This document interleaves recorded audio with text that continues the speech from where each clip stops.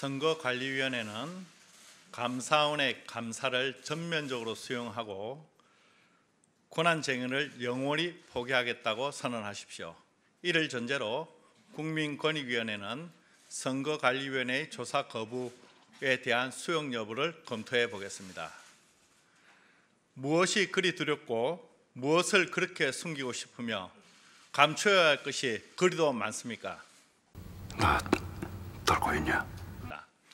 거듭 강조하지만 선관위에 대한 사법적 행정적 조사가 선거 사무의 중립과 독립을 침해하는 것이 아니라는 점을 명심해야 할 것입니다. 국회의원 전원이 국민권익위원회로부터 부동산 전수조사를 받은 사실이 있지만 이로 인하여 국회의원의 독립성이 침해되었다는 국민적 평가는 존재하지 않습니다. 현대 모든 자유민주주의 국가헌법이 채택하고 있는 견제와 균형의 원리에 따르면 다른 기관의 조사는 당연히 허용되기 때문입니다.